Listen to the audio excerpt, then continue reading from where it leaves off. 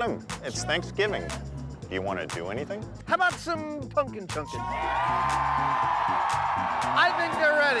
The chunk is back. It's Punkin Chunkin', hosted by the Mythbusters. I'm Adam Savage. And I'm Jamie Hyneman. We're in the pits with 110 competitors that showcase everything from human-powered catapults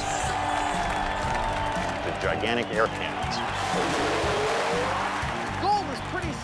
The team that launches an 8 to 10 pound pumpkin the farthest wins the championship. I am really feeling good this year. I feel like we're the team to beat.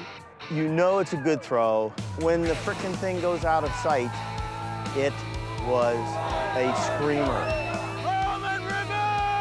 We're about to drop some bombs right now, so I'm about done with you guys because I got to get to work. Being one of the crowd favorites at the Chunk is no accident. We put on a great show.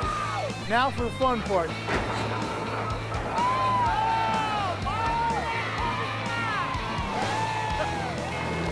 If you're out there throwing pumpkins in the field, you're having fun.